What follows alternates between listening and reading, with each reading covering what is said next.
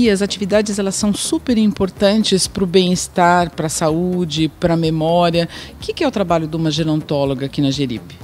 Bom, na verdade o trabalho da gerontóloga é bem amplo, né? Uhum. Mas aqui eu trabalho com musicoterapia e estimulação cognitiva. É, aqui a Dona Ivete, por exemplo, está fazendo uma atividade de estimulação cognitiva, no qual primeiro a gente trabalha a linguagem, porque ela vai ter que formar uma história a, é, através das figuras que foram expostas para ela.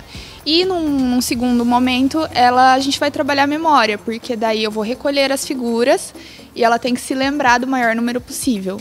Então, é, são essas as áreas trabalhadas: a linguagem, a memória, a atenção, o raciocínio.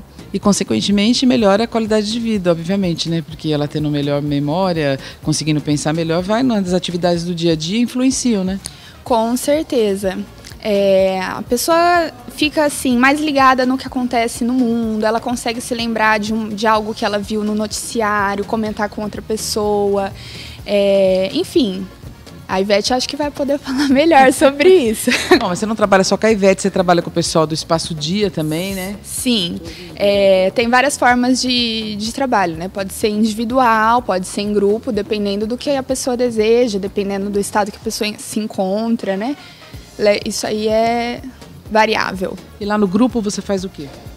Então, no grupo a gente trabalha mais com dinâmicas. Uhum. A gente, eu na verdade faço atividades que parecem brincadeiras e o pessoal costuma nem perceber que está trabalhando alguma coisa, porque fica uma coisa bem leve, bem gostosa, o pessoal dá risada. Eu estou aqui na Geripe há, há, um, me, há um ano e quatro meses. Eu frequentava muito o Espaço Dia até me inteirar de todas as outras, as outras atividades que tem. E, e, com a Bia, o que está acontecendo depois que eu comecei a ter as, as minhas sessões com a gerontóloga, com a Bia, eu, eu porque a, nós aqui, a, a gente fica assim um pouco esquecida de fazer um treinamento de memória, um treinamento cerebral. No meu caso, por exemplo, eu vou ter que formar com essas figuras que são quadros de, de, de pintores famosos, eu tenho que formar uma história. É para ela, no começo, para mim, eu achei uma coisa pô, tão primária, né? Uma mulher de 80 anos formar uma, uma, uma historinha, uma coisinha assim tão meio ridícula. Mas acontece que não é só nisso. A gente pensa que é só isso, só que depois ela vira todas as, as cartas e, ela, e eu tenho que lembrar as imagens que eu formei aquela história. Você lembra?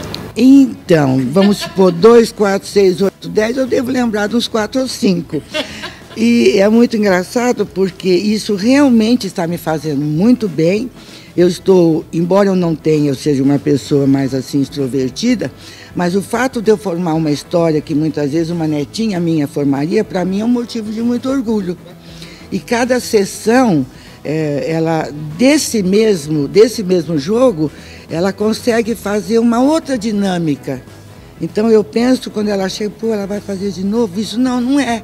Ela vem com uma outra coisa que eu tenho que forçar mais ainda a minha memória para lembrar. E melhorou o dia a dia? Muito, muito. muito.